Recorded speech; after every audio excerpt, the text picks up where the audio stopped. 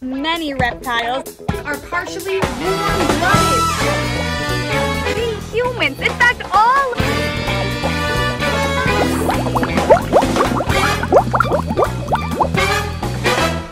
We are going to be talking about some of the amazing animals. And welcome to Paige's Planet.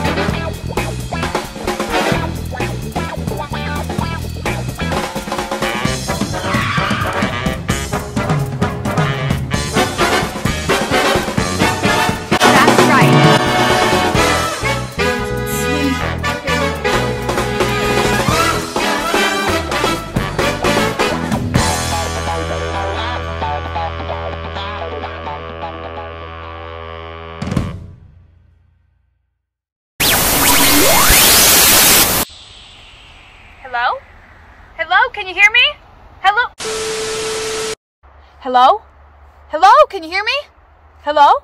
Oh, hi! Hi, Planet Protectors! This is Paige coming in live from base camp. Today, we will be navigating one of the harshest ecosystems in the whole world, the Florida swamp. Let's go!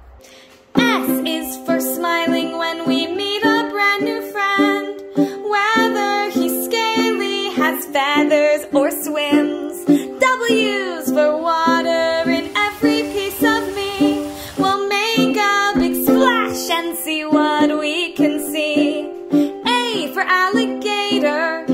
grinning ear to ear. M is for mud from your head to your rear. P's for protecting our planet so dear. So tromp and skip and jump and hop and climb and run and swing and swim.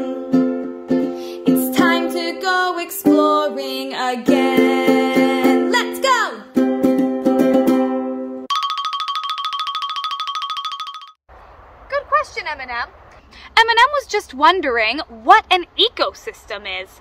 An ecosystem is everything in an area that is alive, interacting with each other and their environment. Let me explain. Raise your hand if you are alive. They're alive too, I promise. Very good. Now, interact with someone. Give somebody a high five. Awesome. Now drum on something like the wall or a tree. Very good. We just made the Planet Protector Base Camp ecosystem. How cool is that? Let's check and see if there's any Planet Protector posts. We've got mail.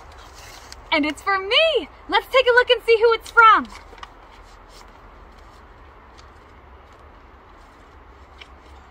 Dear Paige, one time in Florida, I saw an alligator.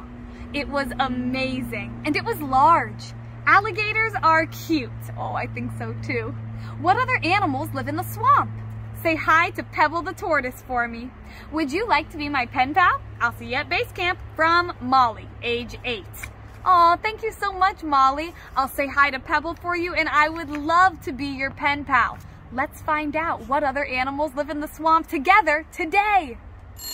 Do you hear that? I think a planet protector is calling. Come on, let's go inside and see who it could be. Hi guys! Oh my goodness, look who it is. It is Planet Protectors, Marcella and Titus. I know you guys do an awful lot to protect the planet and animals. So what are your favorite animals? Flamingo. Flamingo! What'd you say, Titus? Monkey. A monkey! Oh, that's so silly. So, what if you were to go out into an animal's home and you saw a lot of garbage? Would you like garbage in your home? So, what, what could we do? What do you think? Clean it up. Yeah, that would be so good to do. What if you saw somebody throwing garbage out into a flamingo or a monkey's home? We would pick it up and throw it in the trash. That would be so nice. That would be so nice. I'm about to go on an adventure into a swamp. Do you know what kind of animals live in a swamp? Turtle. Turtles, very good. Titus, what kind of animal do you think you could see in a swamp? Do you think an alligator? Yes. Yeah, alligators. What else swims down in the water? Fish. Yeah, there's probably fish. That's pretty silly. I think we look like a fish. Thank you, Planet Protectors. Bye, Marcella and Titus. Bye. Bye, And when scientists talk about ecosystems, they're usually talking about places in nature, like the desert, a coral reef, or the swamp. Whoa! Welcome to the swamp. Let's go get in. Here we are in the beautiful Florida swamp. There's a lot of ecosystems that I love to explore, but the swamp is one of my favorites because I grew up here in Florida. This is my backyard. What a gorgeous place. Now, ecosystems, every single one, be it a desert or a swamp or the ocean, they have their own food web. Here in the swamp, it all starts with plants. Look at this. It's incredible. Right here, these little pink patches, these little bulbous things are eggs. Have you ever heard of an apple snail? Apple snails are large marine snails that live in fresh water, and all kinds of animals eat them, even small alligators will eat on apple snails, and they lay, I'm gonna pull myself a little closer in here maybe, they lay these beautiful little eggs. I'm gonna be so delicate with them. There's hundreds of little baby snails developing in those eggs. Then they'll hatch and be the next generation of apple snails. There's a woodpecker, and I have a feeling a whole bunch of life right up in this tree. I think the best way to meet new animal friends sometimes it's to just go hang out with them. Let's see if we can get up there and see what they've got going on. What a beautiful little woodpecker. Woodpeckers have excellent hearing. He can hear the bugs moving around in that branch. Then he makes a hole with his beak and gobbles them up using a very long tongue. Right here, we have two of the predators in the swamp. You don't always think of birds as predators, but they certainly can be. Right here behind me, I've got an anhinga, a kind of bird that can swim underwater. They look a lot like a snake when they're swimming. Beautiful birds. He's sunning. And then in the background, she just stuck her head out, a great blue heron. A huge big bird that is a massive predator in the swamp and near the shore here in Florida. How awesome! What a great sighting! Bye guys!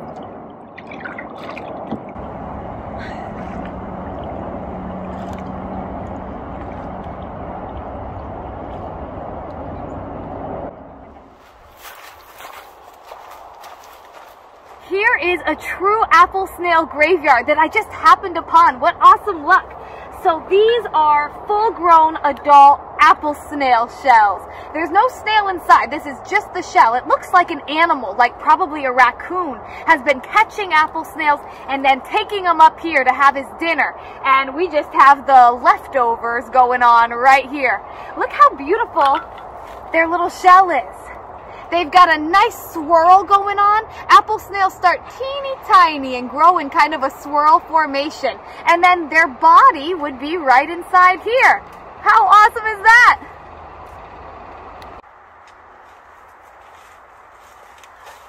Oh my gosh!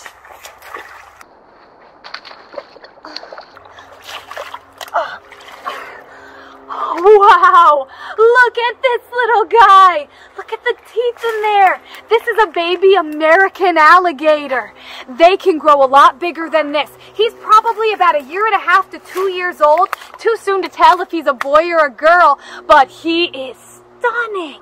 He's got 80 little sharp teeth. All alligators have 80 teeth. They'll continue to lose and replace their teeth all through their lifetime. They can go through thousands of teeth.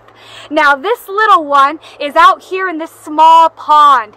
He's small. He's going to have to look out for bigger alligators that might gobble him up for breakfast. It's very few baby alligators that make it to adulthood. So he's a fighter. He's a survivor. Can't you tell? I mean, look at that. If I got my finger too close right now, whoo, uh, he would have another thing for me, right? I would definitely know, um, know he, uh, well, he's got a big bite is what I'm getting at. Alrighty, guys, I'm gonna let this little guy go, and um, we'll wish him a whole bunch of luck. Mwah! Good luck, my friend. I'm gonna set him down, and we'll uh, we'll put him on his way. There you go, buddy. Goodbye. You can see all the variety of plant life in the Florida swamp. There's all different kinds of trees and bushes, and that supports a lot of animal life. Oh my gosh, look! Look, guys, hold on. Check this out. No way! That is. Wow. Look at this. It's okay. Hey, I'm not going to hurt you. This is a ball python. This is not a species that's native to Florida. I'm going to see what kind of temperament she has. I'm going to pick her up real quick. If you ever see a snake in your yard or something, you never want to do this, but I have been working with snakes my whole life, and I think because she's not a native species to Florida, they're from Africa, that she used to be someone's pet that was either escaped or released into the environment. Florida has a lot of invasive species problems, including pythons, kind of like this little ball python here. This is as big as they get. She's a full grown adult, and oh my goodness, isn't she stunning? Notice how she's sticking out her tongue as well. That's how she smells or tastes the air. Now, ball pythons are a non-venomous constrictor species. That means they're one of the snakes that squeezes. But that doesn't mean she's going to try to squeeze or constrict me right now. She seems very social and used to people. I'm assuming that, again, is because she used to be somebody's pet. What an incredible find. I never would have predicted that we would come out here and find a ball python. How stunning. I do not think she should stay here in the wilds of Florida, though, no matter how friendly she is. So uh, I am going to take her back to base camp where she'll be a little safer. Let's get out of here. Come on, little lady. Right beyond here, it's kind of hard to see, but right in the middle of all that brush, there is a juvenile alligator. Alligators are the apex predator of the swamp.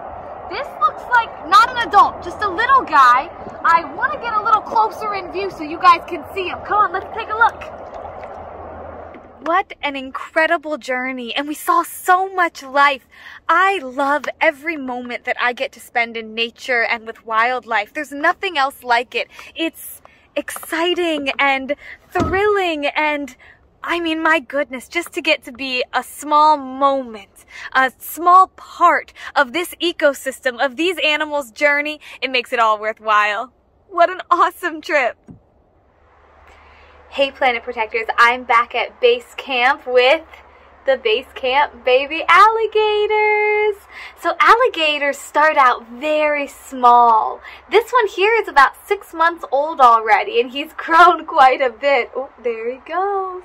Now, baby alligators may start out tiny, but of course they get huge. They can grow to be up to over a thousand pounds and 14 feet long. Look how sweet they are when they're tiny. Oh, look at that little face. Now, he's small now, but that doesn't mean he isn't already a ferocious predator. Alligators are carnivores or meat eaters. At this age, he'd be eating things like tadpoles and water bugs. But as he grows, he's going to eat bigger and bigger food items. His food will basically increase in size as he does. All right, little cutie. Oh, look at that little face. Yes, you are very, very cute. Now, at this size, they can't really hurt you. But in the wild, their mommies would be there to protect them. All they have to do is cry for their mommy, and she's gonna come and protect them from predators. Now, their cry kind of sounds like if you mixed up a bird chirp and a frog croak. I'm gonna give you my best impression, and then you can try it too. It kind of sounds like. Hmm, hmm, hmm. What did I say, buddy? Oh, I must have said something offensive. He's out of here. That's what they do. They make that little hmm, noise, and mom would come to protect them from any predators that might be bothering them. Isn't that neat that alligators can communicate with each other like that, and that their bond between a baby and their mommy is so strong? Now, these babies here at the aquarium, their mommy's not with them, so I get to be their mommy and protect them from alligators. Gotta love them. That adventure was amazing. I learned so much, didn't you? Planet Protectors, before you go, the swamp needs your help. All of the animals that we met there depend on their ecosystem to survive. Did you know that pollution and runoff can harm that ecosystem? You can help by not littering and not using pesticides and herbicides in your yard. Those animals need you to be a dedicated planet protector. If you go exploring in the swamp, should you stand a respectful distance away from the amazing animals like snakes and alligators? Absolutely. But should you pet them or feed them? No way. That could create a dangerous situation. We don't have to be afraid of animals, but we should have respect for them and give them their space until they become cuddle bugs, like my friend Eminem. Thank you guys so much for watching. Have a wonderful rest of your day. Bye!